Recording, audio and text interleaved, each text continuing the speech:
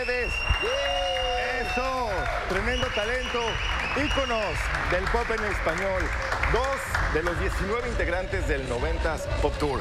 Por este lado, Claudio Yarto Mucho Caló. gusto, un gustazo de estar por acá y bueno, feliz de regresar a Monterrey a promocionar esta fecha del 17 de agosto, padrino. Ustedes fueron nuestros padrinos, nos dieron la súper buena suerte, entonces pues estamos de regreso, papá. Eso, tú ni hablando dejas de rapear, ¿verdad? Y es que yo soy tan bueno rimando que te ando rimando una clase de rima que no te lastima, que solo te anima, que sigo gozado, parado, sentado en la pista gozando y en telediario aquí a la banda escuchando. Ay, no más. Con rap y todo salimos en telediario, ¿eh? Eso es todo. Y por primera vez, ante las cámaras, Claudio Yarto se quitará las gafas. Ah, pensé que iba a batallar, pero, pero no. Ah, ya, papá, ya, este, ya me, ya, ya me la quito ahora sí, tantito para que la gente ya vaya conociendo un poco. pero Mira. a la gente le gustan los lentes. Sí, claro. Me los quito y me dicen, "Oh, ¿cómo, cómo que no eres tú? Yo siempre te he visto con lentes. Es la primera vez que veo que te los quitas. Con todo gusto para la Ande banda de. Monterrey, que es la número uno de este país. Sales a la calle sin lentes, te reconocen. Sí, no, mira, yo ya sé, cuando, cuando me pongo el lente ya sé a lo que voy, aten- atendemos a la gente, Ok, ok. cotorreamos, y cuando no, pues me los quito.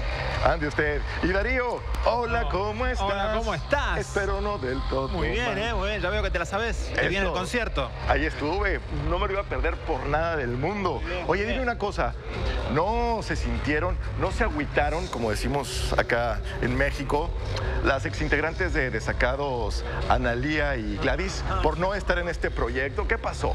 Bueno, no, no, la verdad que no, no, no hubo problemas con eso porque la, eh, Porque están se casó con una. Claro. ¿Ah, sí?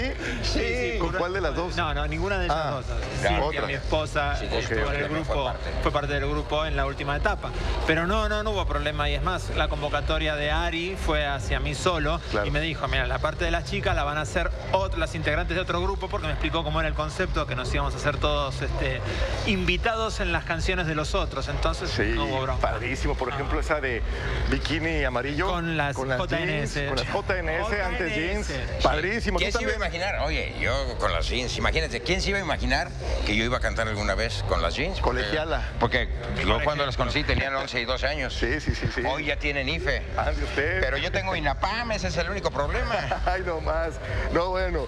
Y previo a su concierto del próximo 17 de agosto en Monterrey, tienen una firma de autógrafos. Claro que sí, esto va a ser mañana las alrededor seis de de la las 6 de la tarde. Oye, no Ahí vamos, a estar. Vamos a tomarnos la foto con la gente que venga a visitarnos, a conocernos, a convivir con nosotros, no solo nosotros dos, sino que va a haber más integrantes del tour. Viene Mariana, viene Litchi, viene Ari Boroboy, pero como, bueno, ya viste que se casó la güera, Erika Saba de OV7, sí. a- andan, re- andan reponiéndose de la fiesta y llegamos primero nosotros, pero llegan ellos el día de hoy. O sea que se quedaron con las ganas del fiestón, ¿no? Un Ah, sí, tremendo pero nos que guardaron un trozo de pastel a cada uno, después no nos traen.